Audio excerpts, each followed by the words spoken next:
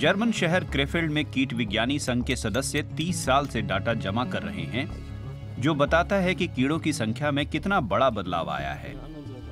इस तरह के ट्रैप्स के साथ, कीट पतंगे उड़कर एक दीवार की तरफ़ जाते हैं, फिर एक चमकीले बिंदु की तरफ़ मुड़ते हैं और एक बोतल में चले जाते हैं। इसके साथ ही अल्कोहल का एक कंटेनर होता है, वे इस द्रव में गिर जाते हैं और तुरंत उन्हें संरक्षित कर लिया जाता है।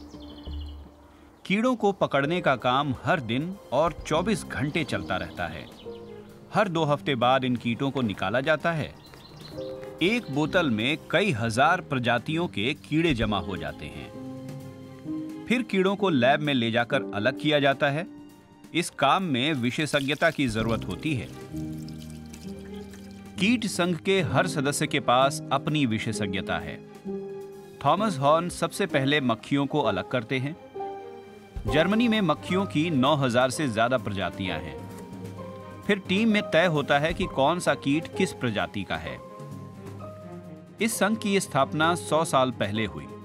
तब से यह कीटों को जमा कर रहा है। वे अलग अलग प्रजातियों को दर्ज करते हैं और उनमें आए बदलावों पर भी नज़र रखते हैं। 1980 के दशक के आखिर में इन रिसर्चरों को आइडिया आया कि कीटों की विविधता ही नहीं, बल्कि उनके वज़न का भी पता लगाया जाए। कीटों को अलग अलग करने से पहले वे उनका वज़न तोलते हैं। इसके लिए खास नियमों का ध्यान रखते हैं ताकि सुनिश्चित किया जा सके कि हर एक नमूने का वज़न एक जैसी परिस्थितियों में लिया गया है। हर काम बिल्कुल पहले जैसे करना होगा। ये बहुत ज़रूरी है।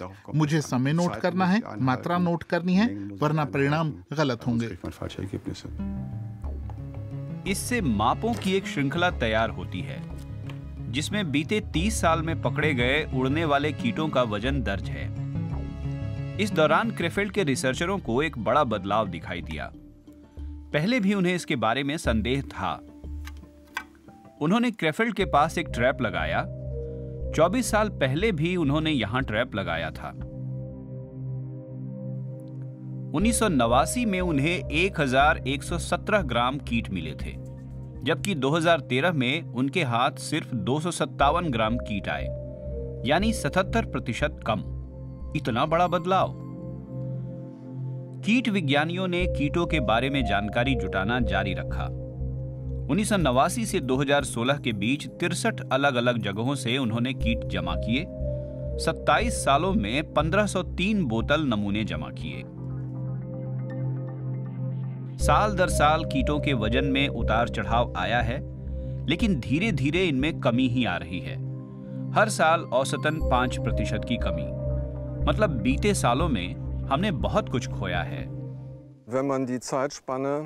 अगर आप उन्नीस सौ नवासी से 2016 तक के 27 साल के परिणामों को देखें तो हमें लगभग छिहत्तर प्रतिशत की कमी दिखाई पड़ती है।